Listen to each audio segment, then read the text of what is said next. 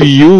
Been a pleasure uh, informing you throughout this uh, Tuesday, March 14th. We will be talking a little bit about insecurity along the National Highway number 3, where some incidents have occurred between Edea and uh, Dibamba. We will also be talking about um, the role of election observers when it comes to um, senatorial elections. We will be talking about initiatives to promote excellence amongst young people in the country. And of course, in this edition of Twilight, we will also be looking at policing, as the um, commander of the Mutengene school has published a book on modernizing policing in Cameroon.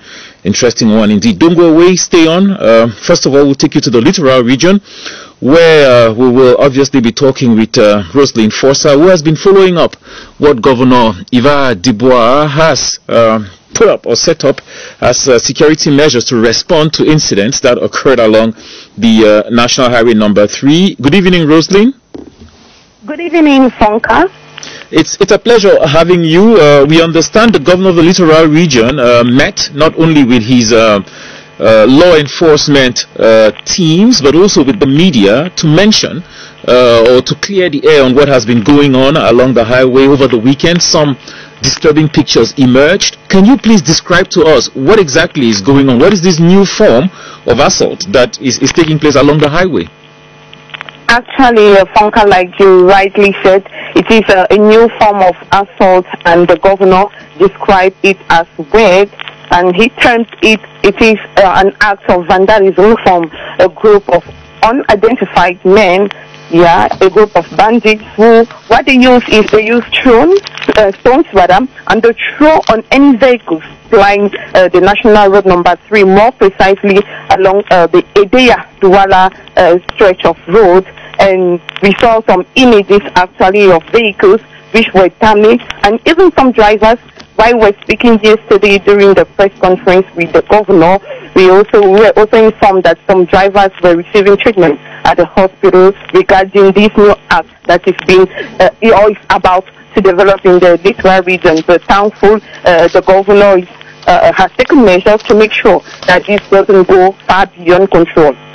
Well, you mentioned measures. What exactly has he prescribed to his law enforcement officials? It is hard to police a, highway. Exactly. I must mention that uh, that day exactly, that was on the 13th, few hours after uh, the senatorial elections. So immediately, uh, uh, forces of law and order in Douala precisely were informed. They immediately rushed to the site in Edea, and lucky enough, they apprehended four suspects. So uh, they have been using information from the four suspects to get the others who were uh, uh, committing that atrocity. And like you said, measures have been taken by the governor. Actually, he has uh, uh, asked the forces of law and order to be vigilant along that national road number three, especially around where the incident took place. He has also invited all the, the, the four senior divisional officers like the measures go beyond uh, the Sanaka Maritime Division where the incident took place. He has invited everybody, like the senior divisional officer of four, all four subdivisions, or rather all four divisions of the littoral, that they have to work with traditional rulers in order to have first-hand information. And you know, traditional rulers are most close to uh, their population more than the forces of law and order. So he has invited them to collaborate more with authorities, administrative authorities of the region. Well, like you mentioned there, um, the collaboration, the dependence on informants is, is definitely crucial because it will be hard for anybody uh, to try to control a, a, highway of over 300 kilometers. Mm-hmm. We hear uh, some arrests of suspects were made and that those people were being uh, questioned already. Um, do you feel that not only the informants are, are very useful, but can you confirm to us if any arrests were made? Yes, during, according to the governor of the Littoral Region, Samuel J. Denise Hadibwa, he told us yesterday during the press conference that four of the suspects were arrested.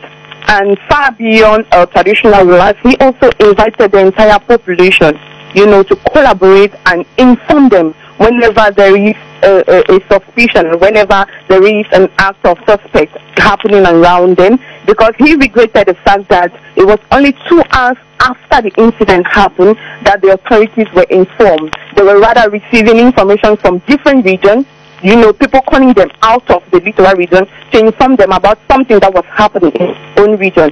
So he invited the population to collaborate with the police whenever there is any incident. They can call the police line or rush to the nearby, uh, you know, police station to inform anything that's happening. So everybody is involved in this uh, uh fight against this new uh, uh, form of vandalism that's about to, you know, take place in the littoral region. Thank you very much, uh. We will obviously be uh, monitoring um, these incidents, whether it's from uh, Yaoundé or Douala, or I even heard that a similar incident occurred along the National Highway number 4 between Yaoundé and Bafoussam. So we will be monitoring um, these incidents and updating our viewers as the, as the uh, days unfold. Thank you and have a pleasant evening. Let's take a break. When we come back, we will be talking about elections in the uh, first part of our show, and I'll be telling you who my guests are.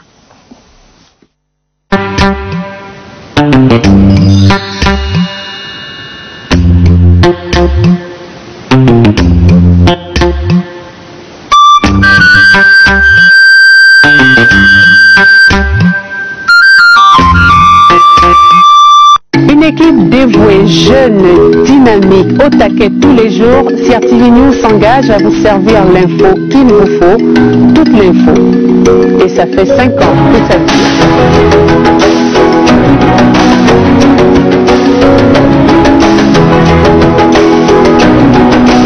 Ça fait 157 680 000 secondes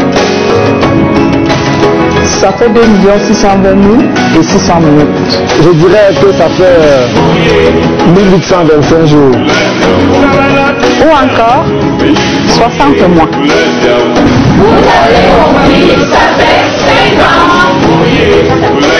Vous l'avez compris? Déjà? Tranquille, hein Déjà? Déjà? Chaque jour, nous tissons la toile en temps réel avec vous et pour vous.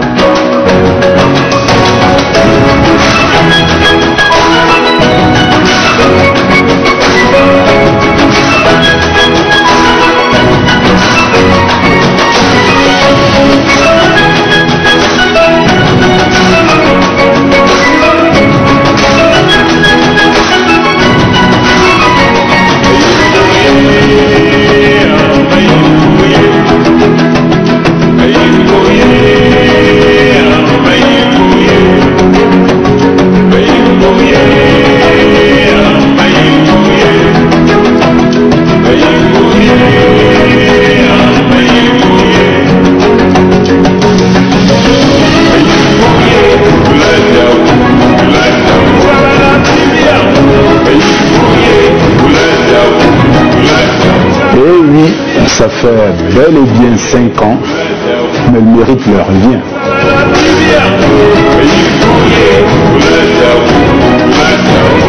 Nothing but the news. Bien plus qu'un slogan, c'est une réalité.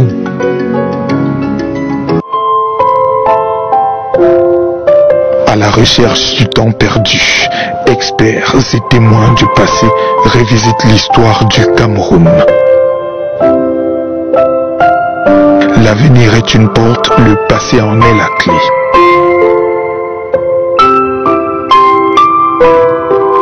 À la recherche du temps perdu, une émission présentée par Françoise Coquichouès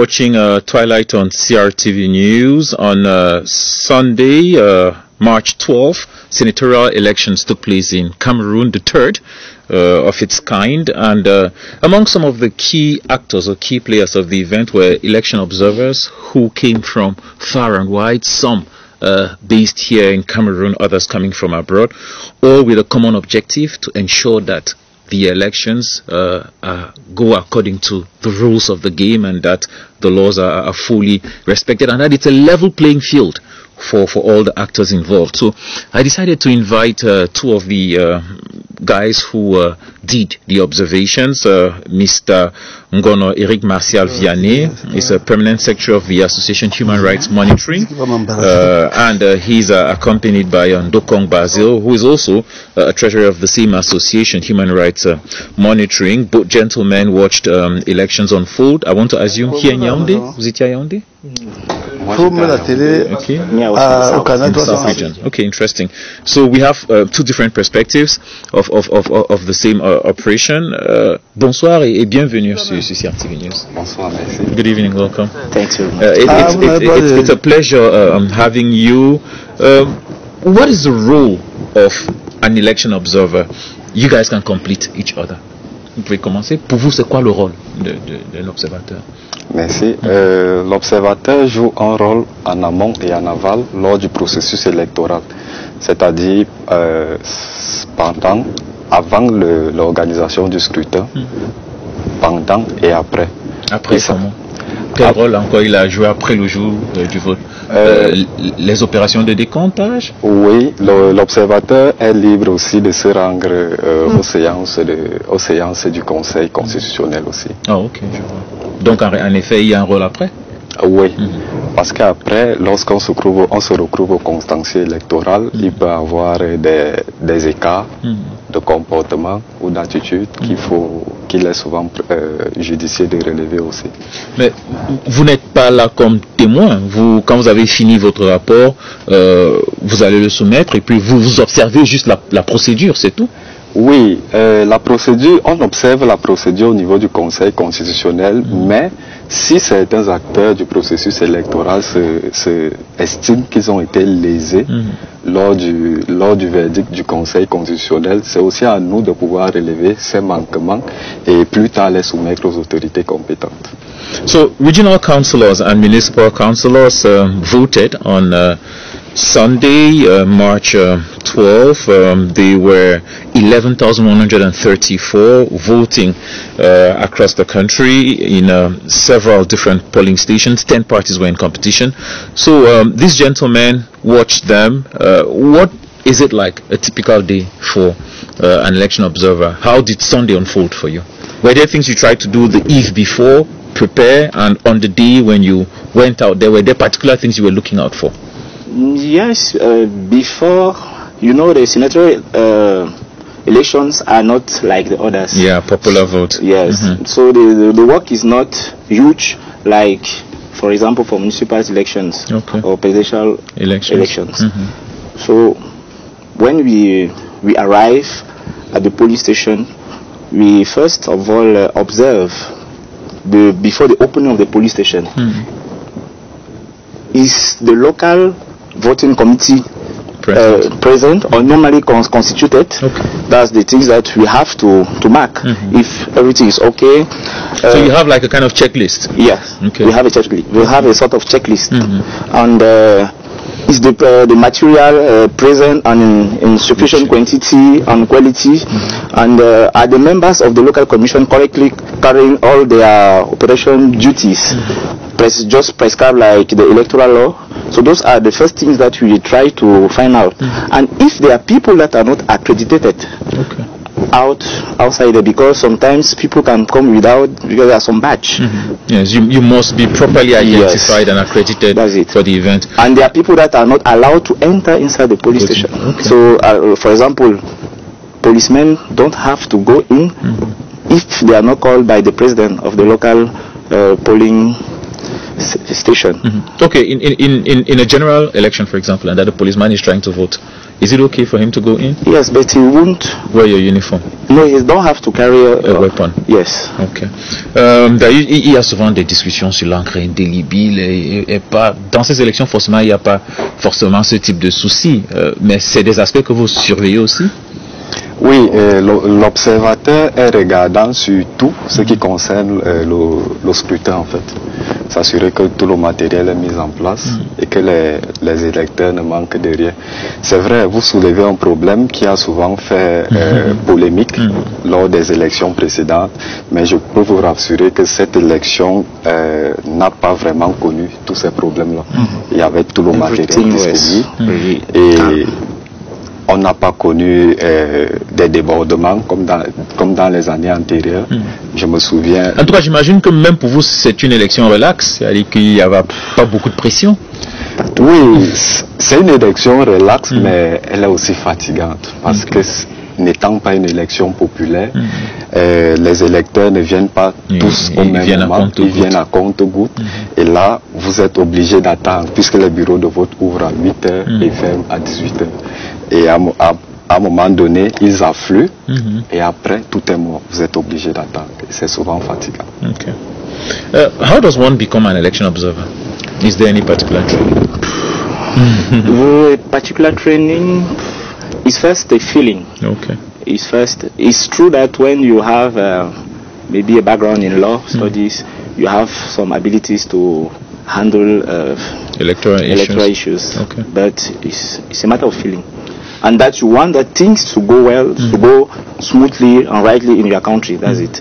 Because there are even you notice that uh, people that are disabled people are not yet well taken into consideration into consideration during elections okay. because it's it's not inclusive enough. Yes, so okay. th those are things that we are still going to put on our report okay. because for them you can see how they they are managing to go and vote, mm. to go and do their duties is not yet what must be done. Eleka mentioned uh, that there were braille uh, voting papers this time around, um, but I'm sure to you that is not the only issue. It is also maybe access. The access. To, there's to, to, to oh, yes, the there's also station. the access mm-hmm. to the polling station. Okay. In uh, other, uh, obviously, they, they usually use a mobile uh, ballot okay. to, to, to bring help them, them. uh, to, to bring it to them and help them to, do their duty. But it's not yet here. Le MINAT a, a, tenu un point de presse euh, avant euh, où il a précisé vos responsabilités, vos droits, vos obligations. Euh, Est-ce que vous pensez que vous avez tout s'est passé comme il se doit, que non seulement vos droits ont été respectés, mais que vous aussi vous vous êtes comporté de façon exemplaire, en tout cas que vous allez vous comporter de façon exemplaire euh... Est-ce que c'est une menace pour vous? Non, pas du tout. Euh, vous savez, euh, c'est une collaboration en fait entre le ministère de l'administration territoriale et les organisations de la société civile. Mm. Mais en ce qui concerne l'OMINAT, tout s'est bien déroulé. Nous avons joué notre rôle sur le terrain, mais nous avons également relevé quelques manquements vis-à-vis -vis du MINAT. Mm -hmm. euh, par exemple, le, la délivrance tardive des accréditations, parce que euh, dimanche, certaines associations n'ont pas pu observer parce que les badges et les lettres d'accréditation ne, sont, ne sont pas parvenus -hmm. euh, à temps à, leur, à, à, leurs observateurs en fait. Bon, pour ce qui est de Human Rights, j'ai personnellement pris cette responsabilité-là de, de pouvoir acheminer le, le matériel, le kit électoraux à tous nos membres. Donc, euh, j'ai été appelé mercredi le 8 mars Mm. et j'ai pris le temps de, de passer d'agence en agence pour expédier le matériel. Normalement, est-ce que c'est vous qui devez le faire? Euh, Ou bien euh, l'organisateur doit dispatcher vers les, les, les observateurs, peu importe là où ils se trouvent Euh, en principe, en principe, parce que selon les textes, euh, il est fait mention dans le guide de l'observateur que les frais liés au transport, au logement et autres commodités sont à la charge des observateurs accrédités ou, des, ou des organes qui les auront désignés. Mais maintenant, au-delà de cette disposition, nous, acteurs de la société civile, nous, nous, euh, nous estimons que nous, nous sommes un peu lésés Mm. parce que nous sommes les seuls acteurs du processus électoral qui ne sont pas pris en charge dans le, le financement en fait. Et ça relance la question du financement des, euh, des, des, associations accréditées pendant les élections.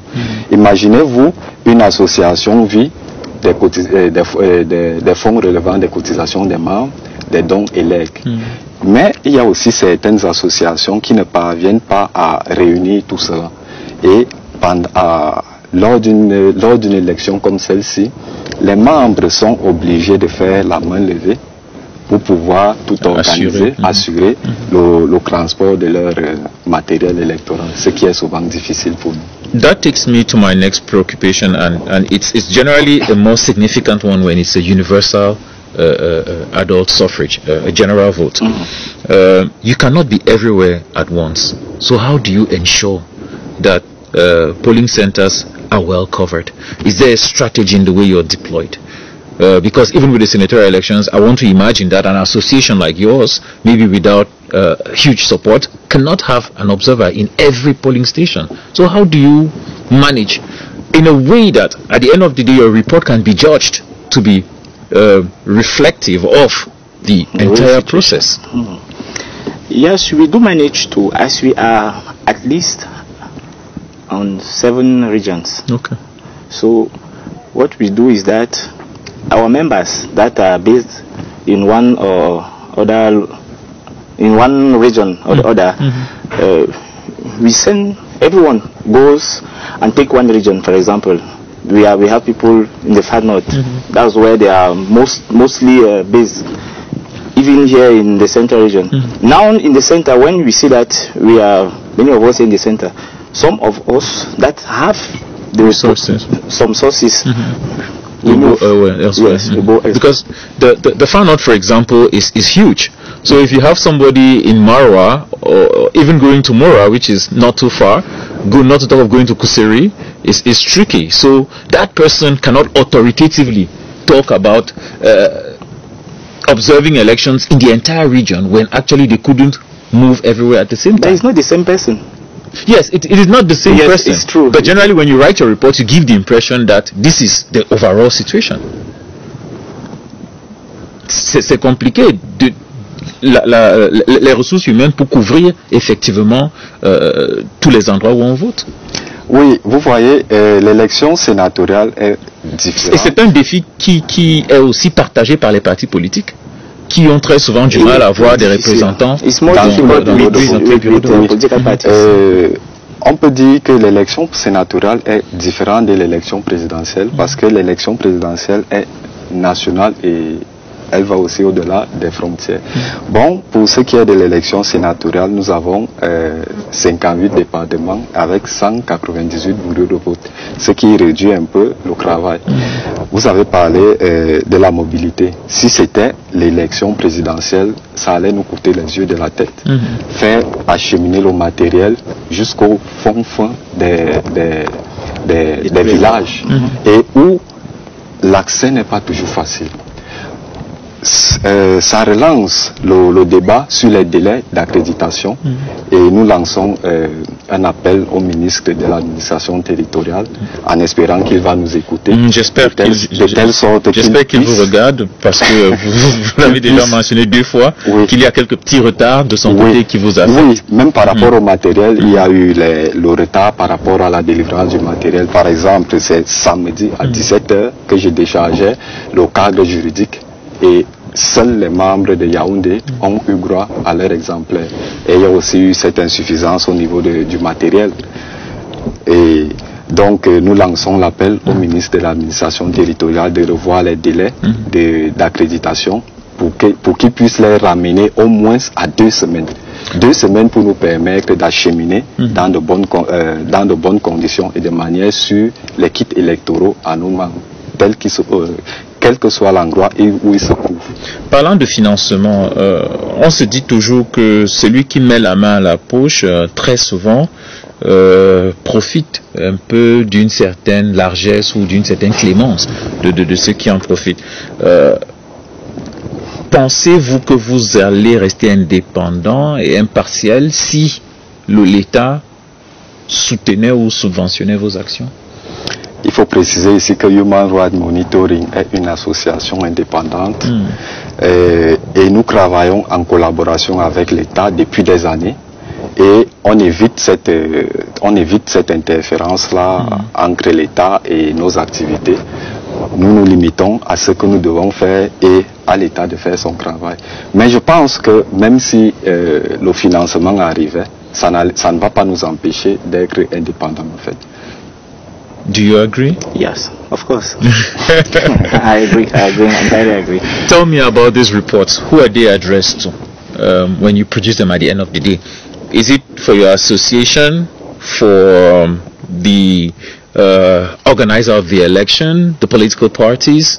Who is it particularly addressed to, or is it just an open source report It's that you for produce? everybody. uh, It's because first of all for administration, for them to to teach again the people that are in the police station, even for Elecam, because we managed, we saw that there were some uh, voters that were going out with the unused uh, yeah, vote, voter, vote, voter uh, cards. oh, yeah. So they have Which is wrong. They have to, to leave it in the uh, that's it. in the trash or Yeah, wherever. it shouldn't it. come out because if it comes out, it shows who you didn't vote for. And so that's why uh, they have to emphasize voter information campaigns on how to behave outside and in the police stations. Because even outside of the police station, there are some behaviors that are not are not correct. So the report also is addressed to them, even to the political parties who have to give that sort of uh, information or training to their members who are going to vote. Because they don't have to do some uh, things that will uh, entail the, the, the, the good ruling of the elections. So the report is open. It's not only for our association, it's, it's to help that the progress, the process of democrat of uh, democratic should go on the on the right way. Parlant du rapport, euh, pour vous, il y a un délai où il faut absolument euh, publier euh, ce rapport. C'est le meilleur moment, c'est quand? Et, et- et vous pouvez compléter euh, la question initiale. Elle est adressée à qui? Euh, je ne vous ai pas bien. Le rapport après les élections, elle sert à qui et, et dans quel délai est-ce que vous la publiez? Bon, le rapport après les, les élections est sou- le plus souvent adressé au ministre de l'administration territoriale. Bon, il ne donne pas un délai fixe. Il dit juste. C'est pas lui qui organise les élections. Pourquoi lui, forcément? Euh, c'est lui qui nous accrédite en, fait, fait. c'est ça. Ah. Oui, il nous dit juste dans les meilleurs délais. Et Human Rights Monitoring a souvent l'habitude de, de donner son rapport le mercredi après les élections. Parce que le dimanche, les, les observateurs sont fatigués, ils ne peuvent pas renvoyer les rapports à Yaoundé pour qu'on les, les compile. Donc c'est à partir de lundi soir, mardi matin qu'on reçoit tous les rapports de- venant de toutes les régions du pays et on fait un travail de compilation. On monte un rapport unique qu'on soumet à au ministre de l'administration territoriale. Mais Human Rights Monitoring a également envie d'aller plus loin parce que euh, les manquements observés sur le terrain sont aussi, euh, sont aussi agressés à, à Elecam. Donc nous souhaitons aussi faire certaines propositions à, à Election Cam- euh, Cameroun pour qu'ils essaient aussi d'améliorer. C'est vrai qu'ils ont beaucoup fait et je les encourage pour ça. Un coup de chapeau vraiment. Parce que quand ça ne marche pas, on tire sur eux, mais quand ça marche, il faut savoir euh, les encourager. Donc euh, nous, nous comptons les agresser, nous, les agresser certaines recommandations pour pouvoir améliorer ce qui a été fait. Mais, nous sommes tous d'accord que euh, une élection sénatoriale et une élection Présidentielle. présidentielle a des défis différents, pose des défis différents. Oui, il y a des défis différents en- sur la, la mobilité, le, le personnel, le matériel, c'est vrai. Mais aussi, Même le volume d'électeurs. oui, même le volume, le volume des lecteurs est considérable. Oui, mais euh, ce n'est pas la première élection. Donc on dit, vous commencez ici. Euh, lors de la prochaine élection, vous relevez ce qui n'a pas marché pour avancer. Je me dis que Elecam est déjà suffisamment outillé. C'est la raison pour laquelle, lors de cette sénatoriale, il y a eu très peu de reproches à faire à Elecam. Très peu. Cela prouve qu'ils ont pris en considération les erreurs passées et qu'ils sont en train de s'am- de- de s'améliorer. Well, uh, like we mentioned earlier at the start, uh, election observation is not always to uh, point out the bad guy, but sometimes just to help improve on, on democratic practice. And uh, we have heard from um, Eric Marcial Ngono and Basil Ndokong, uh, who uh, work for uh, human rights monitoring, uh, and they uh, have shared their experiences with us. Let's take a break, and when we come back, we will be moving on to our next uh, point of discussion. Merci. Merci. Une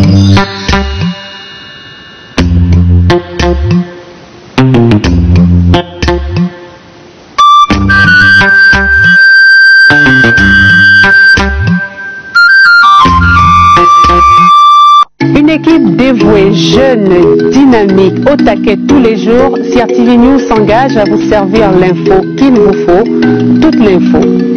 Et ça fait 5 ans que ça dure.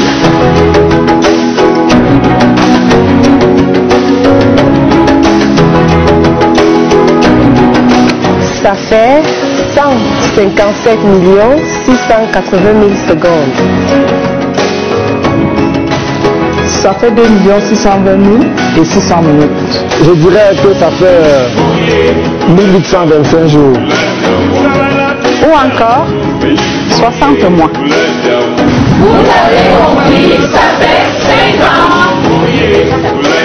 Vous l'avez compris?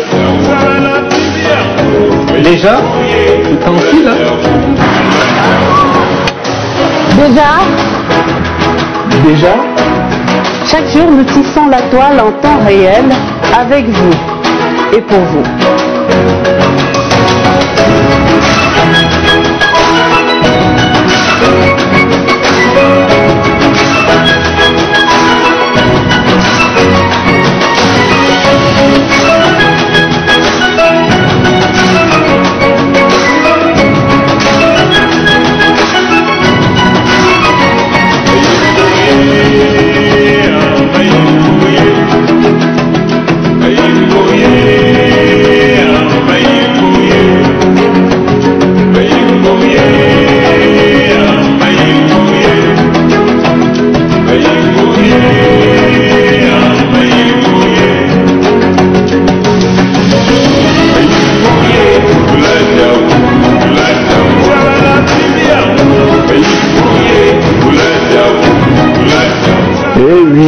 Ça fait bel et bien 5 ans, mais le mérite leur revient.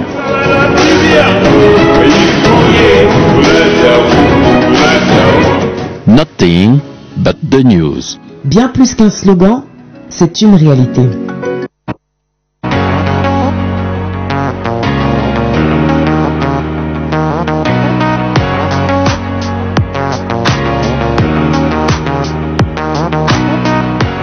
Que diriez-vous de commencer votre week-end par un petit arrêt devant le miroir, reflet de notre société telle qu'elle va?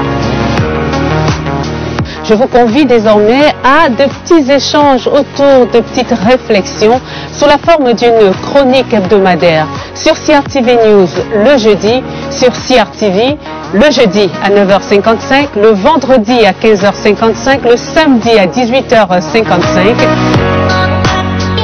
Restez avec moi et merci d'avance pour votre fidélité.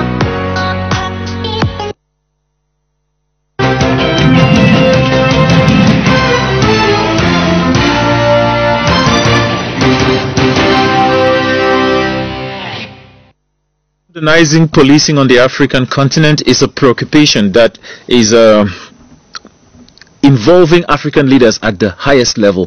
The uh, African Union across the uh, Pan-African Parliament has been working on model policing laws for the African continent, laws that obviously promote good governance, promote human rights, justice, peace and security on the African continent. And uh, these model laws are expected to be implemented across the entire continent. It is interesting to note that uh, somebody who is uh, daily involved with the training of policemen has published a book that seeks to um, address similar concerns. Police, droits et libertés fondamentaux, contribution à la construction d'une police citoyenne et moderne au Cameroon, is uh, written by Dr. Nith Pierre, who is also uh, the uh, commander of the training center of the police at Moutengene, uh, commissaire divisionnaire Dr. Nith Pierre. Bonsoir et bienvenue. Bonsoir, C'est un plaisir euh, de vous avoir. Je, me posais la question tout à, l'heure, est-ce que le, délégué est conscient que vous avez publié un ouvrage pareil et je vois qu'il a préfacé. Euh, donc, euh, sur le plan administratif, je pense que vous êtes couvert. Vous voyez vous-même que vous avez la réponse à votre question. Le délégué général est le préfacier mhm. de cet ouvrage. Ok, euh, intéressant. Qu'est-ce qui vous pousse à décider de, de, faire ce travail? Ça part de quoi? Alors, l'ouvrage est, indicatif, tel que vous l'avez relevé au niveau de son introduction, ou alors au niveau de son titre c'est police, euh, liberté publique et droits fondamentaux. Hmm. Contribution à la construction d'une police citoyenne et moderne au Cameroun. Alors, euh, nous partons d'un constat qui veut que euh, la police camerounaise est évolutive. Elle a évolué selon les régimes. Hmm. Elle a évolué selon l'environnement sociétal. Hmm. Et euh, si nous considérons que euh, la période d'après les indépendances, euh, la police camerounaise a évolué dans un système de parti unique et un système dans lequel les libertés publiques étaient quelque peu bâillonnées. Mm-hmm. la population, le, peuple ne pouvait pas s'exprimer mm. valablement.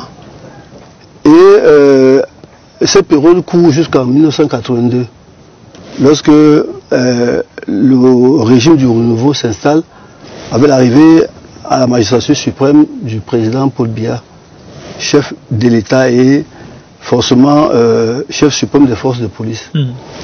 Alors, lorsqu'il arrive au pouvoir, et davantage dans les années 90, on assiste à une libéralisation des systèmes, avec euh, en prime la promulgation des lois sur euh, les libertés publiques. Mhm.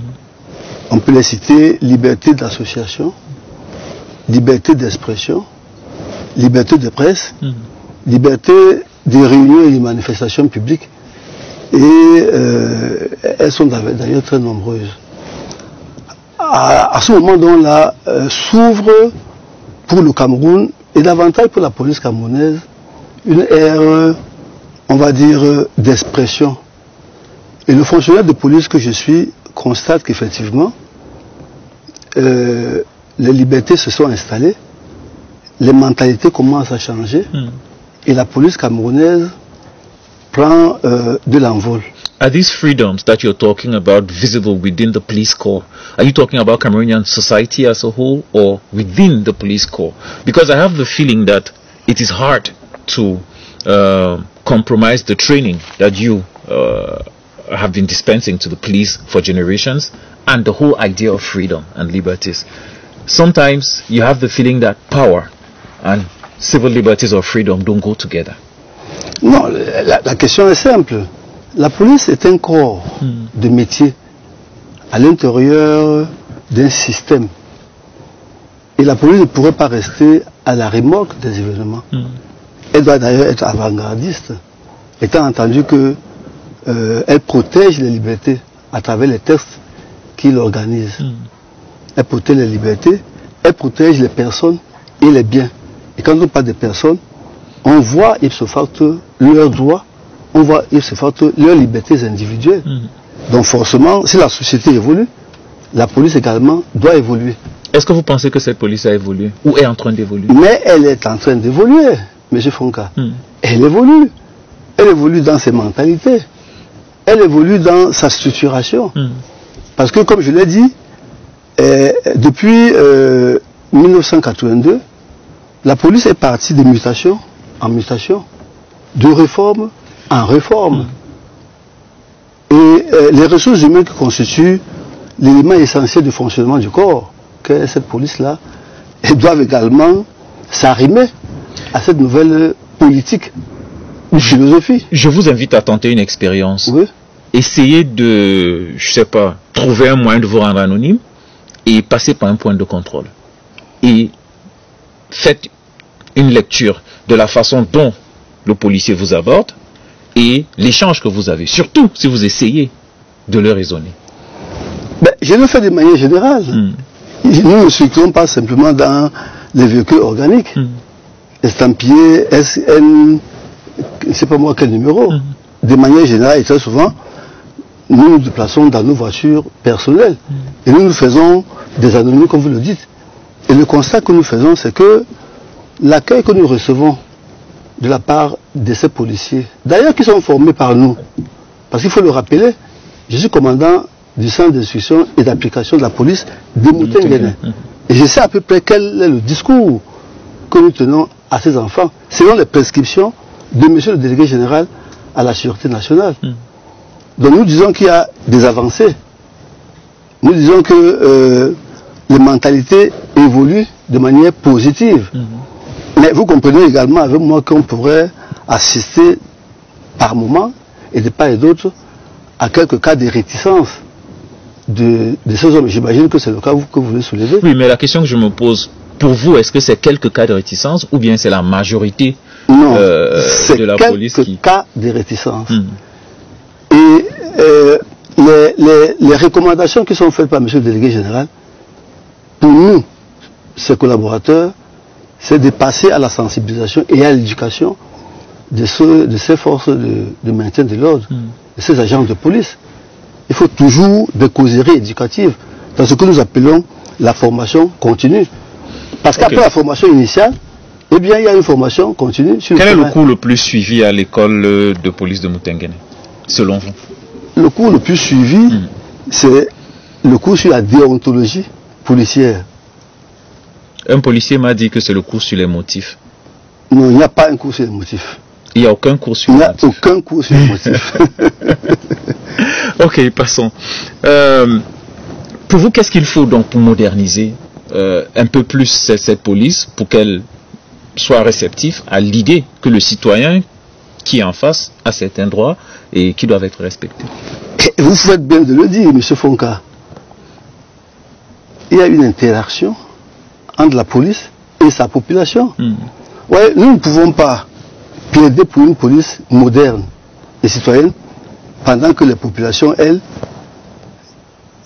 campent dans leur position euh, de population qui réchignent hmm. ou qui s'opposent ou qui sont réticentes par rapport à la collaboration qu'elles doivent avoir avec la police. Hmm. Nous disons qu'il doit y avoir une synergie d'action entre les populations et la police. Et les deux doivent avancer de la même manière pour que finalement nous ayons un résultat euh, suffisamment positif dans le registre que vous, vous soulevez. Mhm. Je, l'ai dit tantôt, euh, garder une police disciplinée, euh, je sais pas, respectueuse et, des droits de l'homme n'est pas facile, n'est pas aisé. Même aux États-Unis, on voit la difficulté qu'ils ont. Uh, sometimes they're obliged to uh, have their, their, their, their, journalists, their, sorry, their policemen wear cameras on them, body yeah. cameras, in order to uh, justify whether they were too violent or not, or whether they were excessive or yes. not. So uh, the question I'm asking yourself is, do you, myself, is, do you have the means to ensure that your men on the ground actually play by some of the rules that you're trying to uh, implement? Alors, les moyens ne seront jamais suffisamment euh, éloquents mm. ou alors nombreux pour justifier l'action de la police. Mm. Pourquoi? Parce que euh, les missions sont nombreuses. Mm. Et les défis également sont nombreux. Donc, qu'est-ce que les pouvoirs publics font?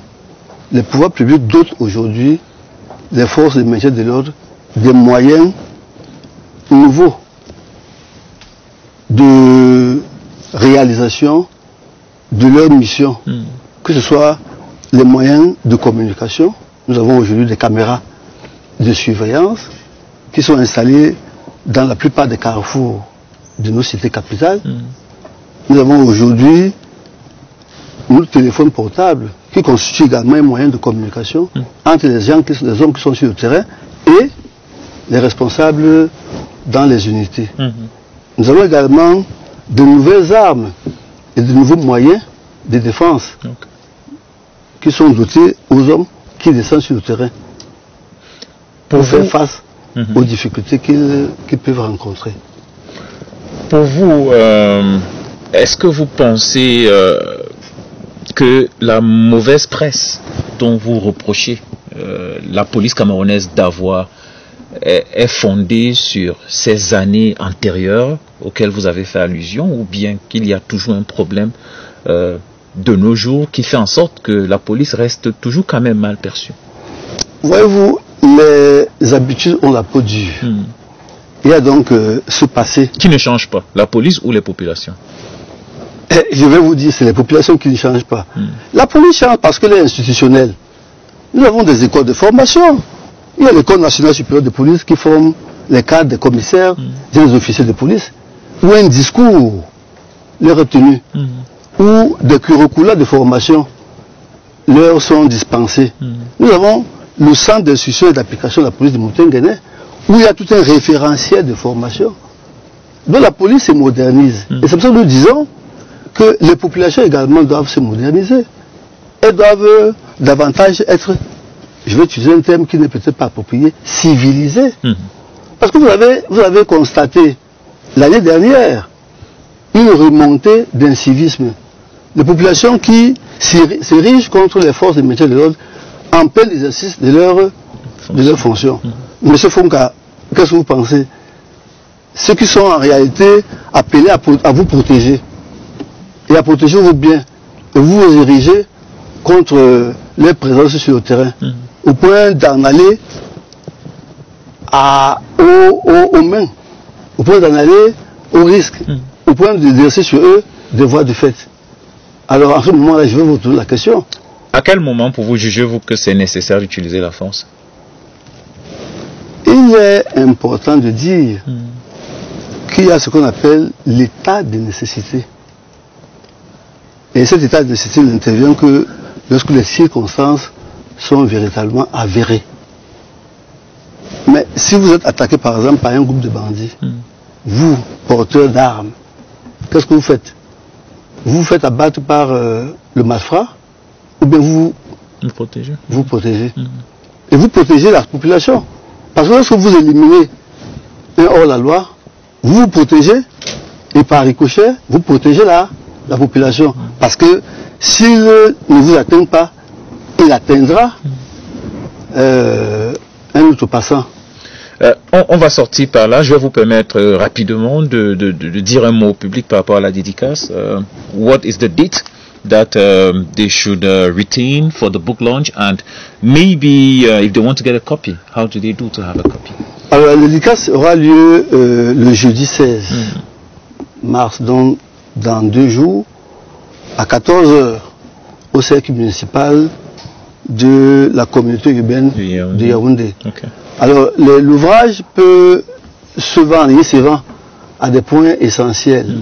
Il y a l'Institut supérieur euh, des entreprises lycées hmm. qui est installé en face de l'hôtel La Falaise. Nous avons également euh, le point de vente comme la, librairie Le Peuple Noir, où on peut retrouver cet ouvrage. Hmm. Il y aura également un point de vente à Bastos dont les informations seront données au, au public. Ok. So, um, the uh, book loosely translates into police fundamental rights and freedoms contribution to the construction of a citizen and modern police uh, force in Cameroon or written by Dr. Nith Pierre who is also commissaire divisionnaire commandant du centre d'instruction de police à Mutengene uh, 257 pages published by Edition Dia Naoa Dia Noya uh, presse universitaire de France Uh, and the book launches on March 16, 2023. Merci et j'espère que monsieur le délégué va imposer à tous vos éléments d'acheter une copie. Je le crois, au regard de, la profondeur de l'ouvrage et du discours qu'il véhicule. Je, trouve que c'est un travail euh, osé, surtout venant d'un policier. Merci beaucoup. Euh, bonne journée.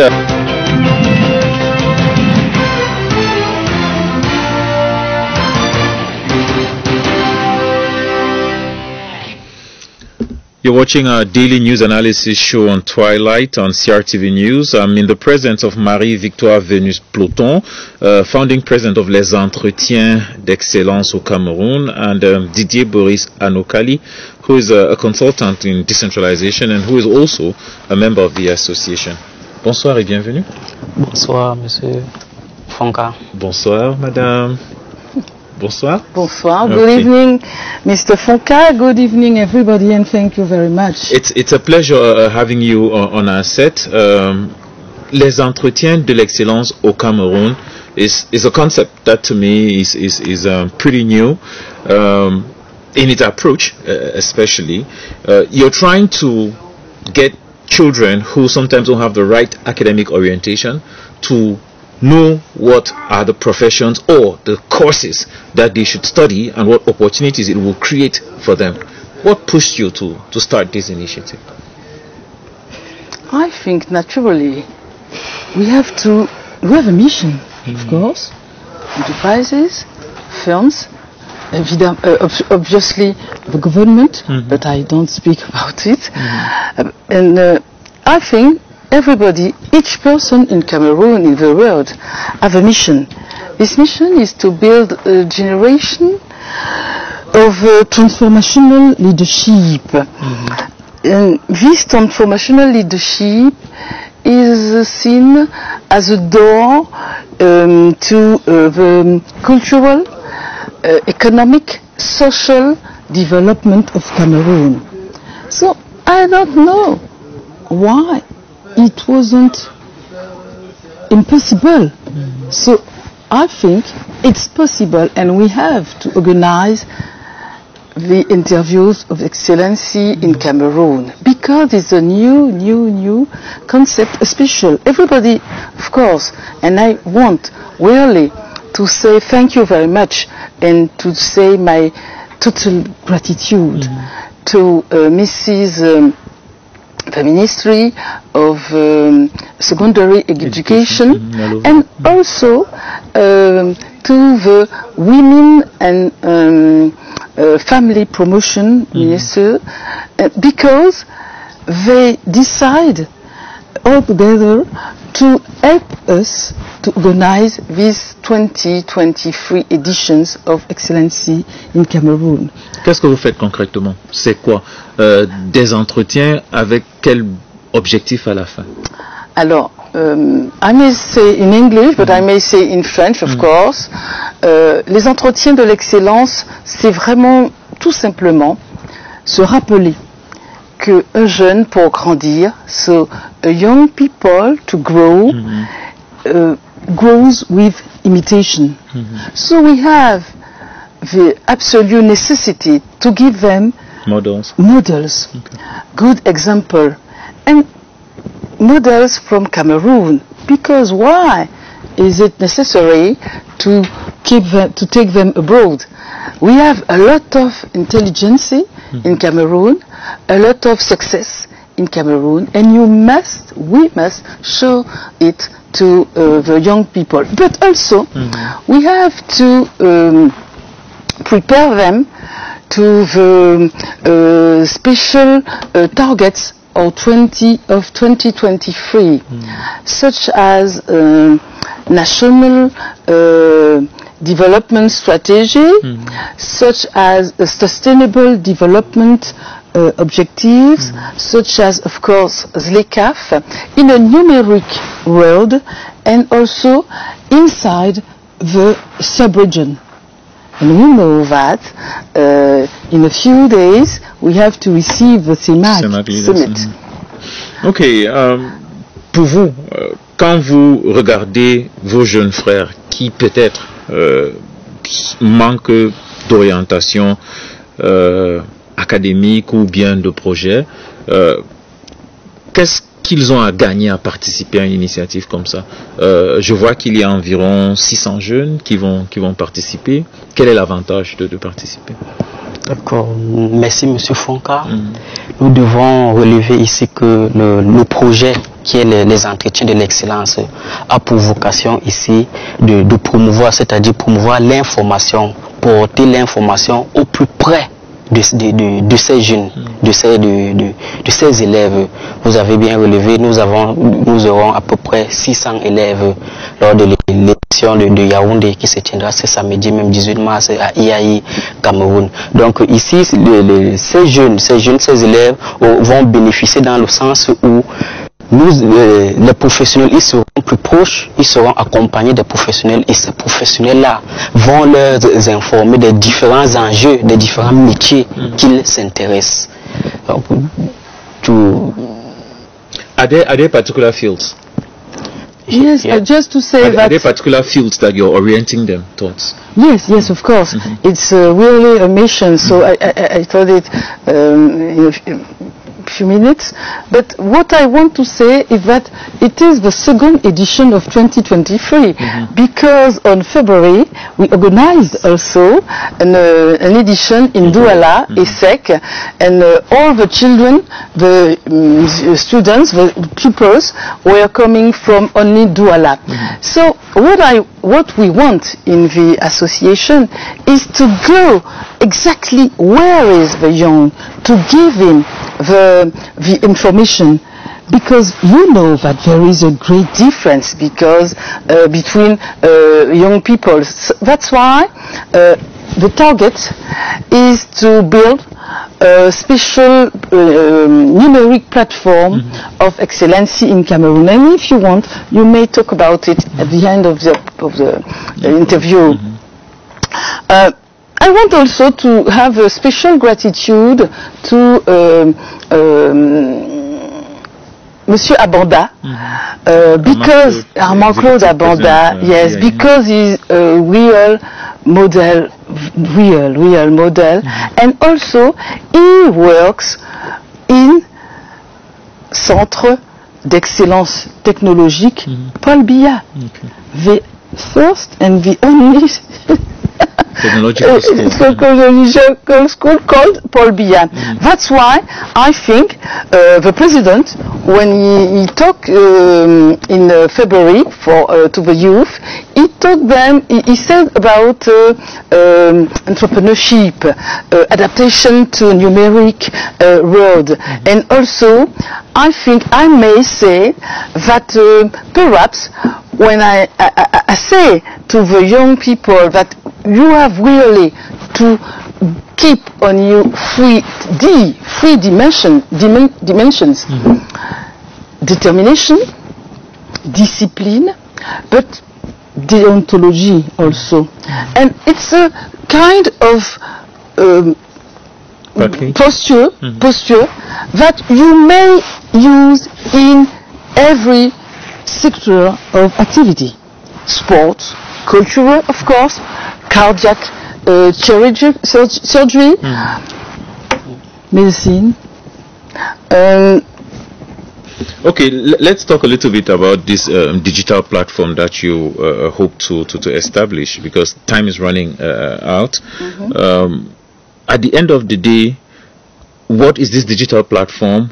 What does it have? Um, a list of young people and their skills? What is it? And at the end of the day, how do you access it?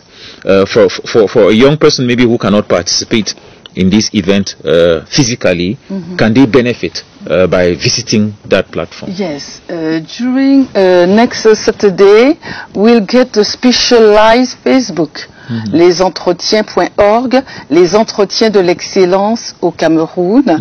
So uh, with uh, Facebook Live, uh, all people, all um, pupils and their parents, mm -hmm. because it's very important. Also, we receive the parents will see what is um, happening in uh, IAI. Mm. But also, after, we are working with uh, some uh, important organization, international organization, and also, of course, Ministry of uh, uh, um, Secondary Education, mm because what I want to say is also that there is many things done in this country. So I'm not uh, I, I, didn't come with, and we didn't come mm. with an idea to change everything. Mm. Not.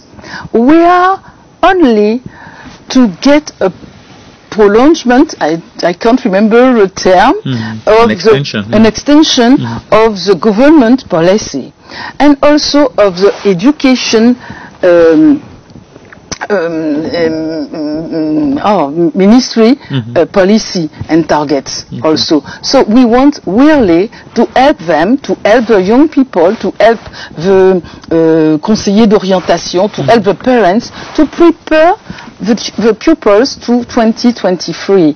And I can't say also, I can say also that remember that 2023 is the Commonwealth year for youth. Okay. So it's important. Quel message adresser euh, aux jeunes qui nous regardent à l'instant et qui espèrent peut-être profiter euh, des entretiens de l'excellence? Okay, thank you, Mr. Fonka. The message that I can address to our brothers or uh, the youths that are listening to us is that we are inviting all of them to participate for the second edition of this year of the Excellency, uh, which will be in in AIE this Saturday. So we invite them to assist because they will benefit a lot because they will be the, the- all the all the professionals from vehicle domain can be health, mining, uh, education, uh, training. All those experts will be experts present, will be present. So they will benefit. They will, they will, they will benefit. They, they, they will benefit a lot from them because they are going to guide them. Those who are interested, to, if a, if a, a child or a, a student is is interested for a particular skill, mm-hmm. and he will be there that day with a professional from that day, I think that he will acquire more more knowledge on how to develop to develop his idea to be a professional in the future for that particular domain. Well, uh, time is against uh, me. Thank you very much, uh, Marie-Victoire Venus-Ploton I just want and to uh, say Didier that- Boris Anokali. They have to be very, very proud of their country. They have to be very, very conscious. The, the, uh, there is a lot of opportunities. It's in Cameroon, yeah, definitely. I, I, generally tell people that Cameroon is a virgin land and that there is so much to be achieved uh, here, so long as you know uh, what to do. Um, thank you very much. That's all we had time for on this edition of Twilight. The news comes up in uh, less than a minute. Thank you very much. Thank you.